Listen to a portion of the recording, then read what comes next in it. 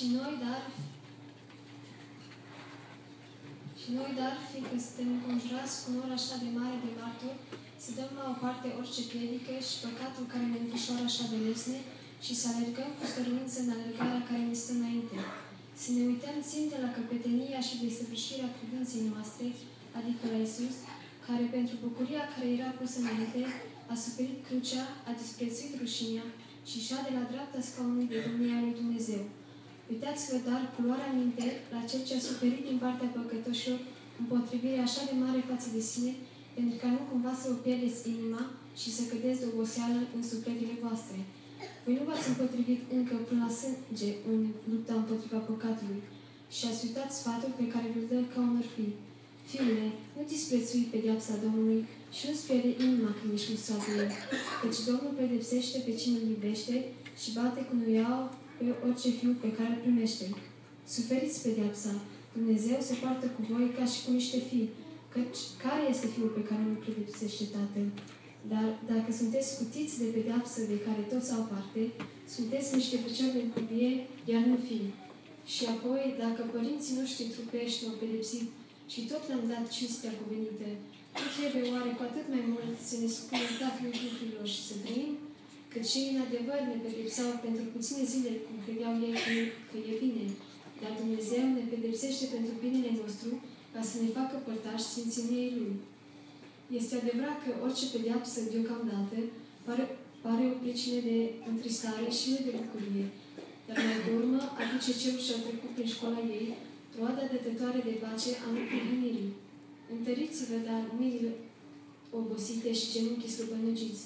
Croiți cărări drepte cu picioarele voastre, pentru ca cel ce șchiopătează să nu se abată din cale și mai degrabă să fie vindecat. Urmăriți pacea, puto și sfințirea, fără care nimeni nu va vedea pe Domnul.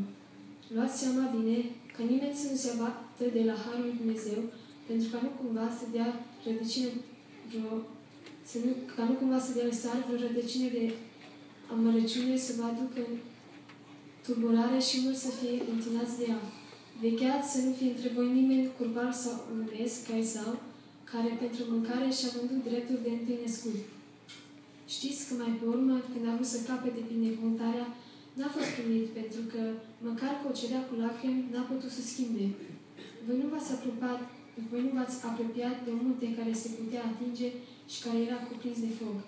Nici de negură, nici de întuneric, nici de furtună, nici de sunetul de trumiță, nici de glasul care vorbea în așa fel că cei ce l-au auzit au cerut să nu se mai vorbească, pentru că nu puteau suferi porunca aceasta. Chiar un obitor, dacă se va atinge de munte, să fie ucis cu pietre sau străpus cu săgeata. Și priveliștea aceea era așa de înfricoșătoare, încât Moise a zis, sunt îngrozit și tremur. Și v-ați apropiat de muntele Sionului, de cetatea Dumnezeului cel viu, Ierusalimul Ceresc, de zecile de mii, de adunarea sărbătoare a îngerilor, de biserica celor întâi născuți care sunt scriși în cer, de Dumnezeu, judecătorul tuturor, de Duhurile celor neprihăniți, făcuți de săvârșiți, de Isus, mijlocitorul legământului cel nou și de sângele stropirii, care vorbește mai bine decât sângele lui Abel.